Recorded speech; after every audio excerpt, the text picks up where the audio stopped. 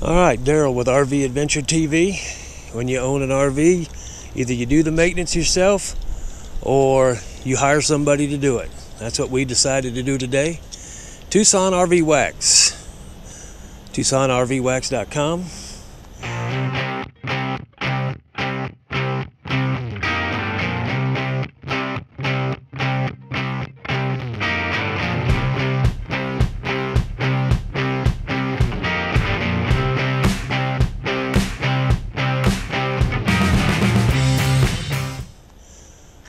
So we're in Tucson. We're going to get the rig good and cleaned up and waxed. Take care of the full body paint.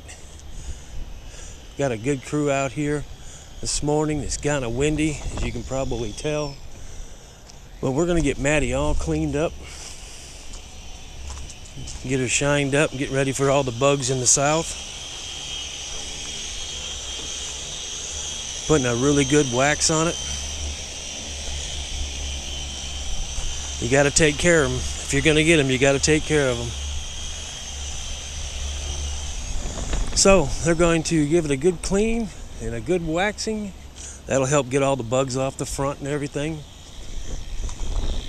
And then they're also going to go seal the roof, do the maintenance on all the roof, check everything up there.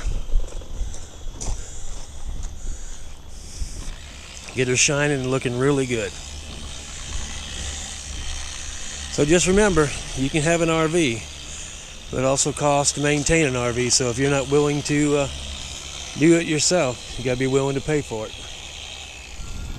All right, here's what they used on the rubber roof that I have on this Heartland Landmark. It's rubber roof treatment with UV protection.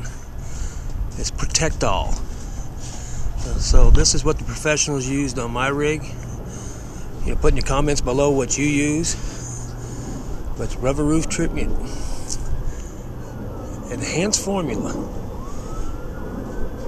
reduces maintenance up to 75%. So we're going to give it a try. www.protectall.com.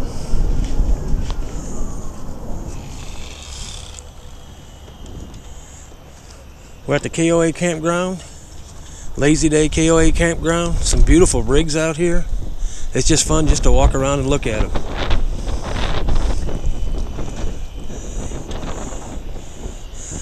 So just a little short video, taking care of your rig, keeping it looking good. And we'll see you next time. Stop the madness, start the adventure.